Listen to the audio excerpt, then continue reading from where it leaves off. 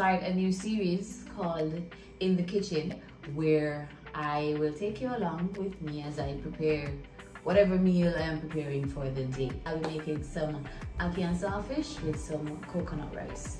And just a few things about the ackee. Ladies and gentlemen, boys and girls, please do not force the pot to open. Do not. If the ackee falls off the tree when it's closed, you can leave it at the root of the tree until it opens and then you take it up and you take the stuff out of it and you clean it. Now, in this video, I will be using some ackee that I got from my parents that was already cleaned and boiled. So there will be another video showing you how to do the ackee from pod stage, but that is for another time. So without further ado, let's get right into it. So this was the saltfish that I bought. As you can see, it had some heavy salt on it. So we're gonna rinse that off first. And then here we are pouring some hot water onto the saltfish and it is going to sit in that hot water for some time. This helps to cut the amount of salt in the taste of it and also helps to make it easier to peel off the skin. So we're gonna just fill this up and put that aside and go on with the rest of the meal. Now we're going to pick the rice, which is just making sure that you get out any sort of impurities that you don't want, and then give it a quick little rinse. And then you season your pot to taste. So I'm adding in some salt, some onion powder, and some roasted garlic. Then about two tablespoons of butter just to give it that creamy texture. Afterwards, we're going to use one packet of coconut milk to a small amount of water. Make sure you mix it properly so that there are no lumps whatsoever. If you don't have a whisk, use a fork and you pour that into your rice on low heat. For our veggies, we have tomato, onion, and sweet pepper. And you're just gonna chop these up, whatever size you would like. These are gonna go into our ackee. Now, don't forget to check on your rice. So, right now, we can see that it has a nice little bubble. I'm going to give it a stir so that the butter and the coconut flavor can be evenly distributed. Now, when you're cooking your rice, you don't want to stir it too much because it will become like a porridge consistency. And also, do not knock your utensil on the side of the pot because that encourages your rice to stick to the base of your pot and that is what makes it easier to burn. Chop up the onion, back to check the rice again. So now we see that some of the liquid has dissolved, but we have all of this settling on top. So you just want to give it a light little fluff. Now remember, be gentle, don't stir it up like you're mixing juice. Just want to incorporate what is on top underneath. chop the tomatoes, and back to the rice. Now, I keep going back and forth because rice takes some time to cook, but you still have to pay attention to it every step of the way. Alright, so here there is still a little bit of moisture down in the bottom of the pot, so we're just doing a little fluff. I don't know if that's the actual term, but we call it that. Say fluff the rice to get the soft ones from underneath up to the top and then also you have to check to see if it's at the, the texture that you would want it.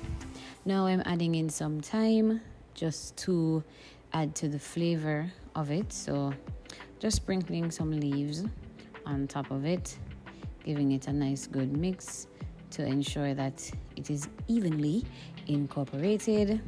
And then we're going to just cover this and let it sit. This is the last time that we're going to stir the rice until it is done. So after you do that then you just leave it to finish cooking. Saltfish time. All right so you're going to drain off the water. By this time the water should be about room temperature because it would have been soaking for about an hour or so. Now you're going to take the skin off For some pieces, it might be more difficult than others, but you want to be careful not to let any scales end up in your fish. So, as you can see, I'm folding the skin over while I am peeling it off just to ensure that no scales fall into the bowl. Now, sometimes it may be difficult to get the skin off. When you find that you're having difficulty, you can just use your knife to help to cut that piece off and then you continue. No, because the saltfish was not boiled, it is going to have a bit of a resistance when you're peeling the skin, but just find a little elbow grease and continue doing it. I choose to not boil the saltfish before cooking because one, it makes it a lot softer than I like, and two, it sort of reduces the flavor that it has, and I think soaking it in the salt water is just enough for it. But if you wish to boil it, you can do so for about three minutes. It doesn't need to be completely boiled because it is going to be cooked with the ackee as well. Please keep an eye out for bones. We do not want any bones in this dish. You can either use a fork or do it by hand, and we now go ahead and flake the saltfish into bite sized pieces. If you have a center bone, like in this part of the video here, you can use a knife and just gently peel the fish away from the bone. Add some oil to a pan on about medium heat, and we're going to go ahead with our onions and the sweet pepper. And you just want to give them a good stir. Please do not add any salt. The saltfish is sufficient. You can add your favorite powdered seasonings to taste. When the onion gets to a golden color, you now incorporate your saltfish into the pan and give it a nice good mixture. You cook it for about three to five minutes until the water starts coming out of the fish. So if you don't see any liquid in your pot yet, it's not time to put the ackee. Now I'm sprinkling some thyme again. Yeah, I like to add thyme to my dishes because it just helps to enhance the flavor.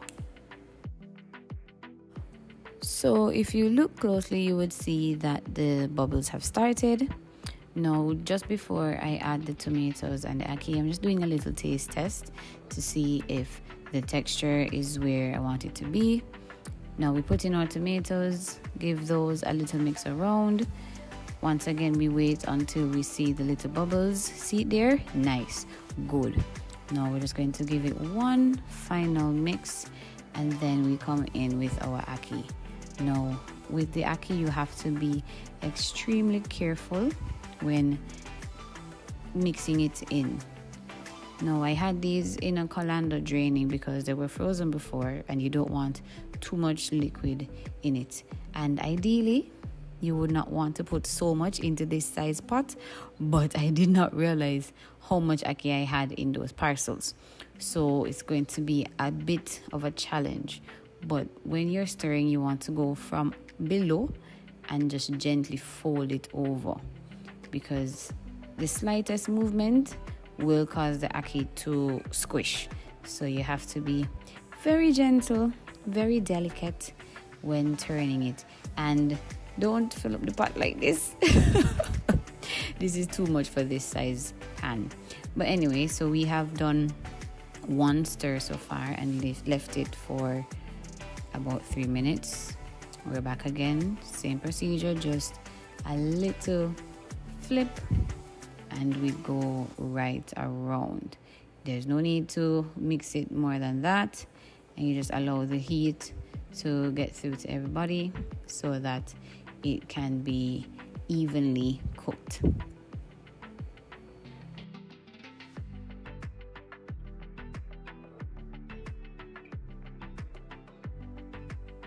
And just before you serve your rice, you want to give it one last fluff just to ensure that it is cooked to your liking. taste mode time. Just a little sample of what was prepared.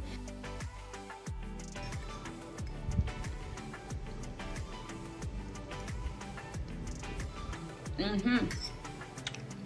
Yeah, man. 10 out of 10. 10 out of 10. So, thank you for joining me in the kitchen. See you next time.